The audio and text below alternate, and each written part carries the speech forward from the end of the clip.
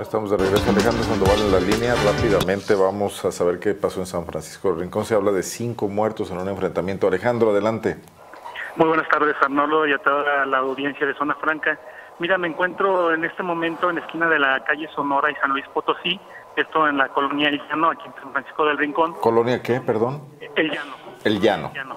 Sí, y estoy justamente en la esquina de Sonora y San Luis Potosí, sobre la calle Sonora, casi en la esquina de donde yo me encuentro, porque ya nos hicieron a un lado, hubo un ataque a balazos donde eh, cinco personas fallecen, cuatro en el lugar y eh, una persona más en el hospital y además una persona lesionada, es el reporte preliminar que tenemos. A ver, Alex, ¿no fue enfrentamiento, fue ataque a un grupo desarmado?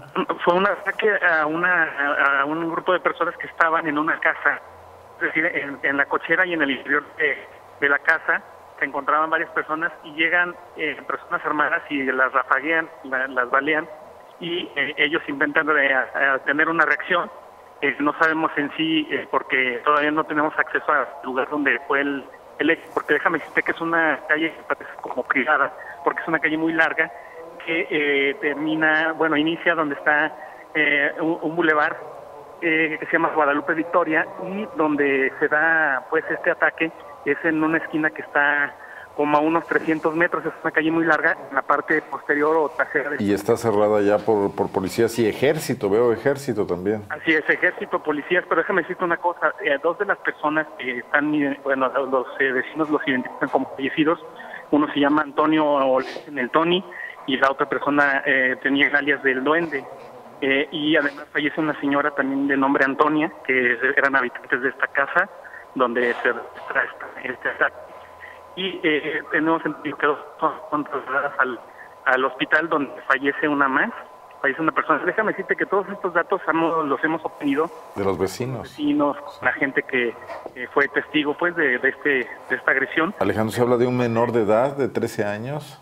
Sí, e, es una de las personas que permanece como lesionada o, o, de las personas que se, de las dos que se trasladó a hospital.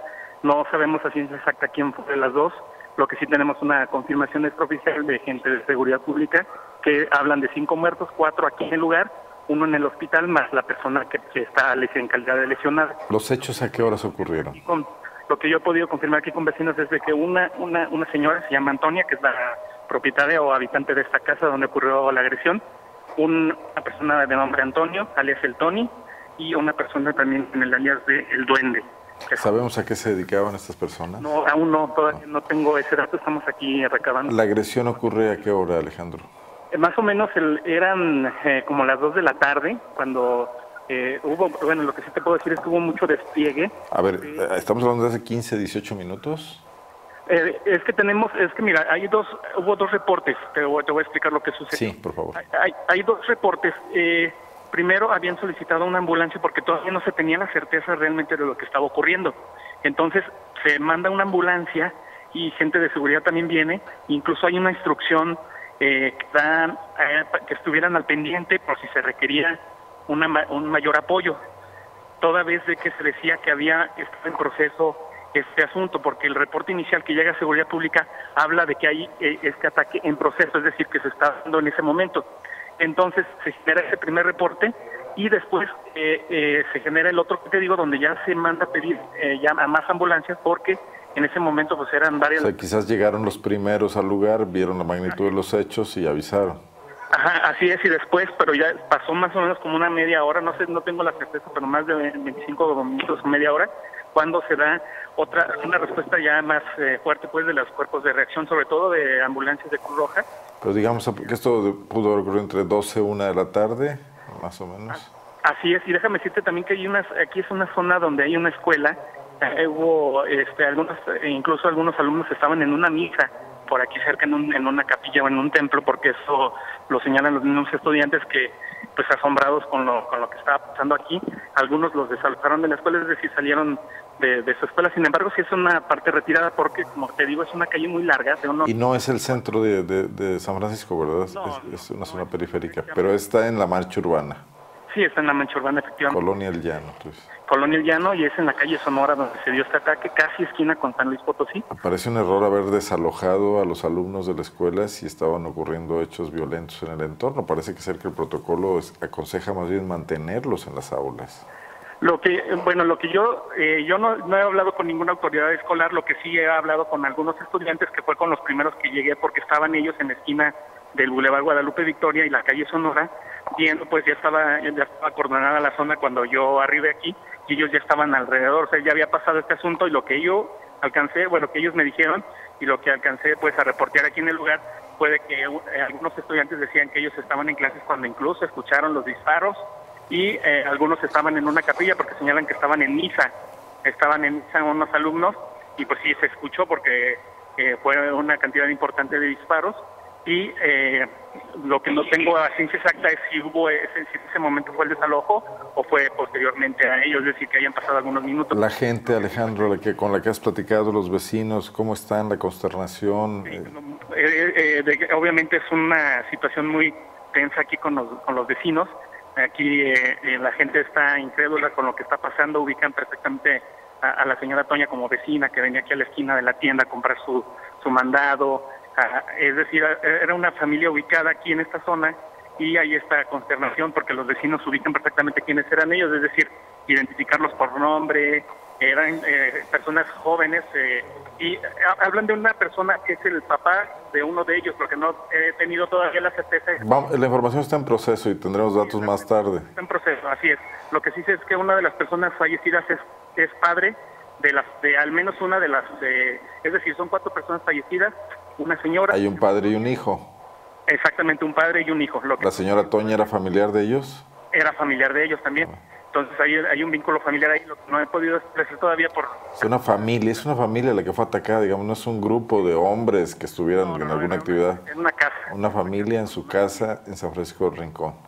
Bueno, porque tenemos que hacer estas historias de vida porque ahora muy fácilmente se dice que cualquier gente víctima de un atentado de esta naturaleza en Guanajuato eh, posiblemente sea un delincuente, esté vinculado con el crimen organizado y hemos visto casos donde no es así. Tu mismo trabajo informativo de hace unos días sobre este joven futbolista de Purísima. Dejen claro que era un joven sano, que fue confundido, pero aquí ya, como ocurre cuando escala la violencia, ya no importa si eres inocente o, no, es, todo el mundo parece estar en riesgo. Y esto las autoridades tratan de no verlo y de además mandar el mensaje equivocado a la población, como si esto ocurriera en otra parte y no aquí en las calles donde transitamos todos los días, ¿no?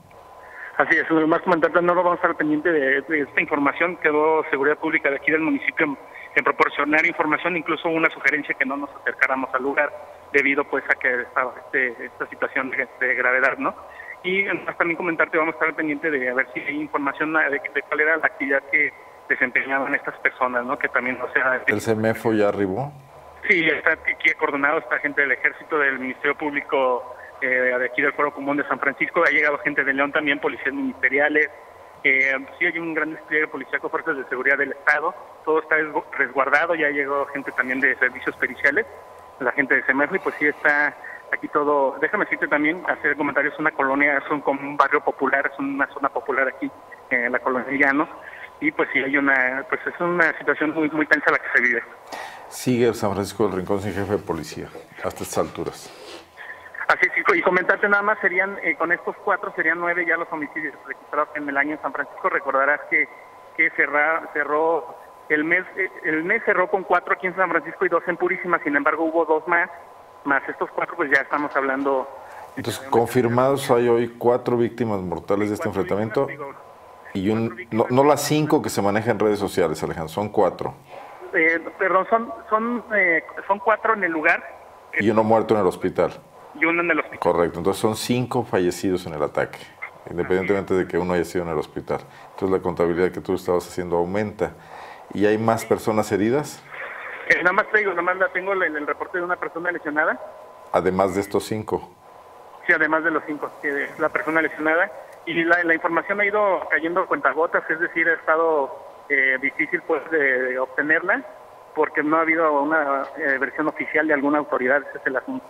Tampoco sabemos por qué la presencia del ejército, pero ahí está un Homer del ejército. Es, ¿Debe ser un destacamento en San Pancho o, es o se moverían desde León? No, son de aquí del una, hay un destacamento aquí en San Francisco, bueno, una, una unidad donde está permanente aquí el ejército, hay una como tipo base, este, muy pequeñas donde hay presencia militar permanente en San Francisco. Alejandro, si te enteras de más información importante antes de que concluyamos el noticiero, antes de las 3, nos comunicamos, ¿te parece? Claro que sí, estamos al pendiente aquí. Eso está ocurriendo en este momento. Yo gracias a mi compañero Alejandro Sandoval. Está ocurriendo en San Francisco del Rincón, donde hace las redes sociales empezaron a hablar de esto hace aproximadamente una hora, digamos a la 1.30, quizás un poco más tarde. Eh, los cuerpos policíacos, como nos indica Alejandro, llegaron a las 2 de la tarde al lugar. Bueno, vamos a, continuar eh, cubriendo esta información. En León también hay violencia, también en un momento más le tengo los datos, pero el día de hoy ya hubo atentados como han venido ocurriendo todos los días prácticamente desde que empezó el año.